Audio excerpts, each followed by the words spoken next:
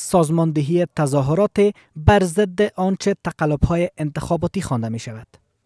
اینجا ستاد انتخاباتی عبدالله عبدالله مسیر حرکت های مردمیشان را مشخص می سازد. مسیری که در نهایت تا گلوی ارگ خواهد انجامید. اما تجربه ناامنی هنوز دغدغه اصلی است. هیچ ناامنی پذیرفته شدنی نیه فردا چون خودشان اعلان کردن که داعش از بین رفته. بنابراین هر ناامنی که صورت بگیره هر خرابکاری که صورت بگیره مستقیم مسئول خود ارگ ریاست جمهوری و همون کسایی که در اطراف اونا کار می‌کنن کسایی که چند روز امروز روز سرنوشت است.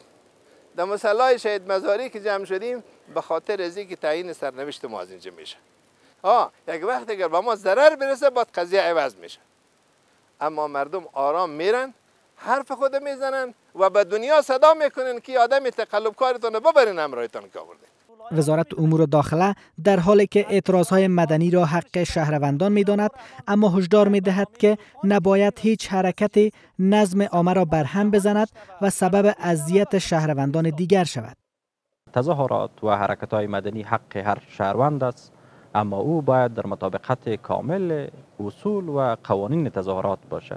امن و نظم عامه باید او اخلال نشه و باعث آزار و اذیت مردم افغانستان قرار نگیره. بخشی از اعتراضات از غرب کابل آغاز خواهد شد. اعتراضاتی که گفته می شود گزینه های بعدی هم در خود دارد. البته در صورت پذیرفته نشدن خواستهای معترضین.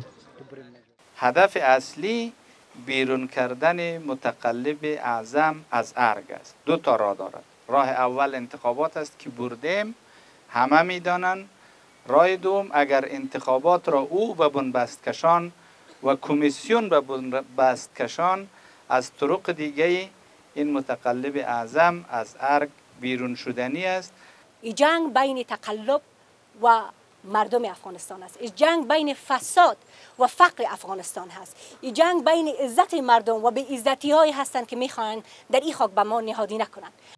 در این میان اما دسته انتخاباتی دولت ساز به رهبری محمد اشرف غنی هر گونه ادعای تقلب در انتخابات را رد می کند و از کمیسیون مستقل انتخابات می خواهد که به زودی نتیجه ابتدایی انتخابات را اعلام کند.